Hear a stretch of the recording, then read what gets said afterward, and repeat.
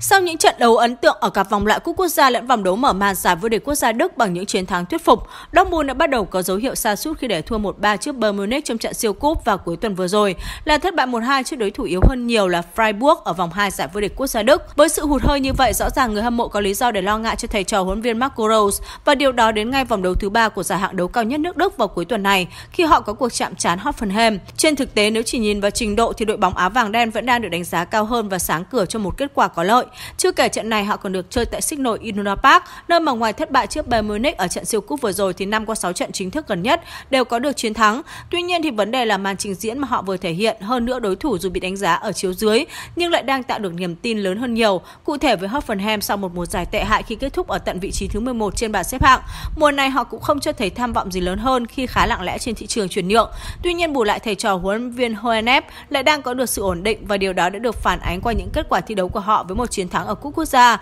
và 4 điểm có được ở giải vô địch quốc gia Đức. Ở cuộc đụng độ sắp tới, điều mà không ít người đang lo lắng cho đội bóng này chính là việc phải làm khách.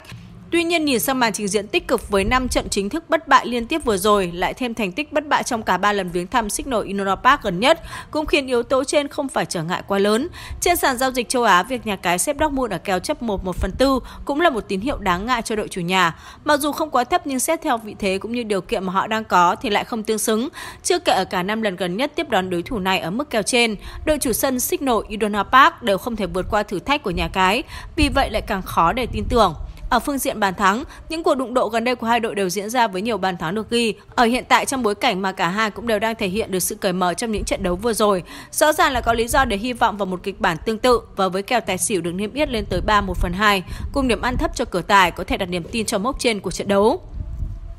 Ở một trận đấu khác của ngày thi đấu này, đội đương kim vô địch nước Ý là Inter Milan sẽ có chuyến làm khách đến sân của Verona trong khuôn khổ vòng 2 giải vô địch quốc gia Italia. Ở vòng mở màn, tân huấn luyện viên Inzaghi đã có màn ra mắt ấn tượng các khán giả tại Giuseppe Meazza bằng chiến thắng tới 4-0 trước Verona. Vậy nên ở vòng đấu tới đây, họ rất được kỳ vọng vào một kết quả tương tự. Rõ ràng trong bối cảnh vừa chia tay nhiều cái tên quan trọng trước mùa giải, đồng thời là sự thay đổi trên băng ghế huấn luyện, kết quả vừa rồi đang đem đến những tín hiệu hết sức tích cực cho Nerazzurri. Tới đây khi đối thủ vẫn là một cái tên dưới cơ, việc họ được hy vọng một kết quả thuận lợi cũng là điều hoàn toàn dễ hiểu. Trở ngại lớn nhất có lẽ chỉ là việc sẽ phải làm khách khi mà giai đoạn cuối mùa giải vừa rồi đã chứng kiến Inter Milan chơi không tốt với chỉ một chiến thắng sau 5 trận chính thức xa nhà gần nhất. Tuy nhiên với đối thủ tới đây cũng không nên quá lo lắng bởi ngoài việc bị đánh giá yếu hơn về chuyên môn, Verona cũng không phải đội biết tận dụng lợi thế sân bãi của mình. Cụ thể ở 10 trận chính thức gần đây, họ cũng chỉ có một chiến thắng tại Betancourt, còn lại thua tới 5 và hòa 4. Ngay cuối tuần trước, thầy trò huấn viên Di Francesco cũng đã để thua 2-3 ở trận mở màn mùa giải mới trước đối thủ không quá mạnh là Sassuolo.